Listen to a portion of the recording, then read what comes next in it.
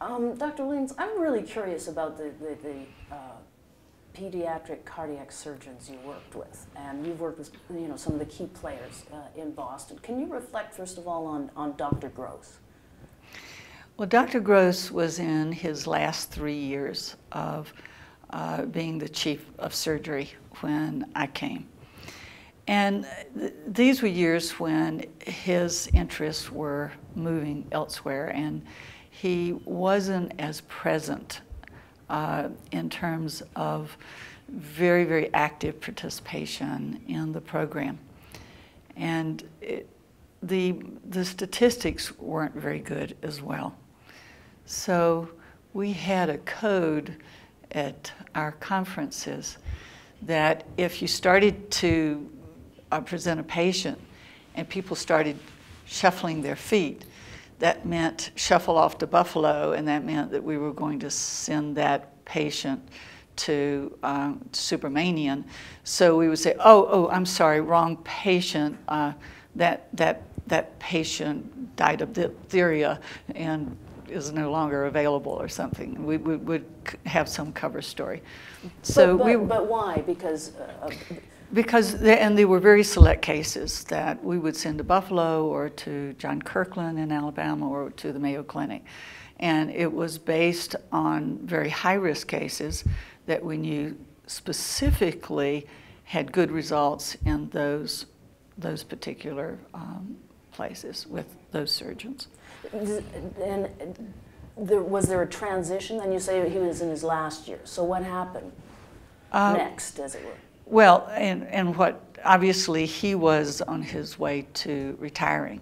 And um, then uh, we started the interview process. John Kirklin looked at the job, and then Aldo Castaneda came and looked at the job. And I was a peon, so I wasn't in on the inner circle of how those decisions were made. But it, it was a big dramatic change when Aldo first came, and we were all very, very excited uh, because this was something new. Gross had been there for decades. And so no one really knew in a leadership position had come in so long, and we knew that something very important was about to change. So how did it change? What was that transition? Well, from my standpoint, I, when, when Aldo first came, I was just starting as a faculty person.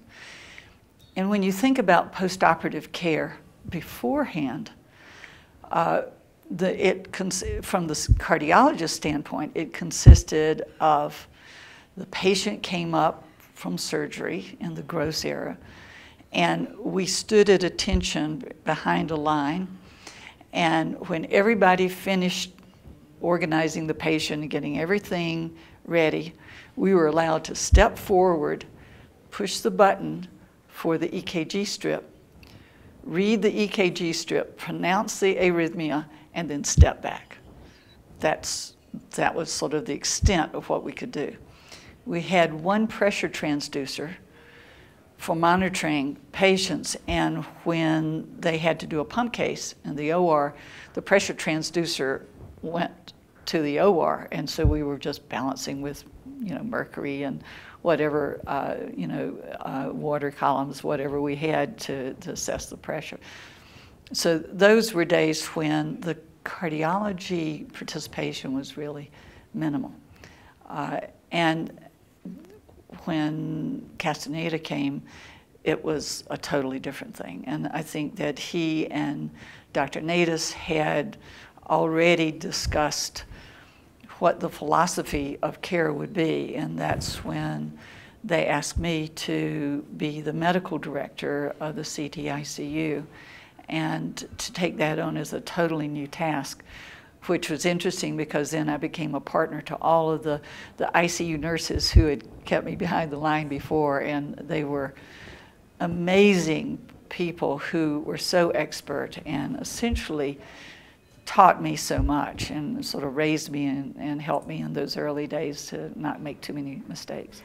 I do want to get uh, to that and what that means more, uh, but I want to get just just finish that portion about the, the, the, transition. So this was an entirely new thing with Dr. Castaneda coming in. Yes. Um, and you hadn't experienced it before. It's a new philosophy. What was the new philosophy? Like uh, we were speaking with Dr. Norwood last night. Mm -hmm. He was mm-hmm. talking about you know a neurologist and neurosurgeon really don't have much of a relationship. They kind of keep themselves separate. Are you saying that change became something different from your previous experience and compared to other types of relationships where it's surgeon and physician? It was a complete partnership where the cardiologist learned what was important for surgical success so that we could prepare the patient and present the patient for surgery at the right time because we understood what was going on in the operating room. And from the surgical standpoint, there was real interaction with the diagnostic procedures and from the cardiologist's point of view, you know, what the anatomy and the, and the function would be. So there was a lot of crosstalk. Uh, and I think in the postoperative period and during surgery, uh, we would be in the operating room. So if we were in the earliest days of echocardiography. So we would be uh, making our uh, diagnoses by very, very primitive means, and then we'd be in the operating room seeing the anatomy. And, and Aldo, you know, would be very helpful to us in pointing out the anatomy in the operating room. And there was a dartboard in sort of the adjacent room. And when things got tense and we weren't sure about a diagnosis, we could just go throw darts, you know, to relieve the, the, the anxiety. And then in the postoperative period, I think the cardiologists and the chief residents and, and Dr. Castaneda and Dr. Norwood worked so hand in hand together. Uh, it, was, it was really a joint joint management. So that was a partnership now, which was, totally different, right? It was totally different. Um, with the um, with the um, uh, doctor, you mentioned Dr. Nadas. Can you tell me just a little bit about him? Hungarian, dynamic, uh, authoritarian, uh, brilliant, and he had the insight to recognize in Dr. Castaneda, you know, what the vision of the new kind of program would be. And he was very inventive. There were several things that he sort of saw coming. The adult congenital heart disease issue, the, the what surgery, uh, you know, could be. And so it was a very interesting way that the older Hungarian gentleman brought the younger Guatemalan surgeon into a real partnership. And I think that partnership between the two of them sort of you know, spilled over into the way the surgeons and the cardiologists related to each other. Um, you have been talking, uh, you brought up the post-operative period um, a number of times, and, and from my understanding, that was a uh, part of that was a new approach that you helped develop as well as in terms of the intensive care unit. Am I correct? After the surgery, what, what does that mean exactly? What what developed? Well, one of the things that we were developing all together, and I don't think it was me; it was just the entire team. We were constantly improving what we knew, and I think that is I, I like to call it heuristic and iterative. We were doing the same thing over and over again, and each time we learned from the last time so that we could do it better the next time.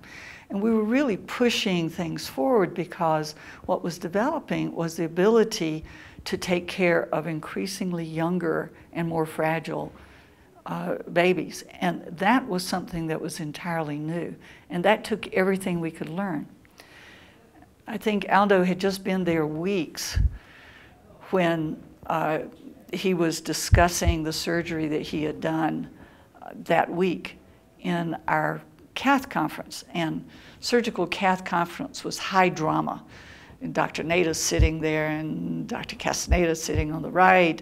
And everybody was ready with their elevator speech, what they had to say, and you either got an approval with a nod from Dr. Nadas or a smile or a serious frown, and, which would scar you for weeks. And Aldo was describing a TET that he had operated on in which there was a little bit of aortic regurgitation postoperatively. And he said, I, I, I, I think I did that surgery rather badly. I could have done it better. And everybody held their breath. No one in Harvard had ever said before that they could have done something better. This was a totally new concept. So the next week, one of my cardiology colleagues uh, said, Well, I did this cardiac catheterization, but I think I could have done it better.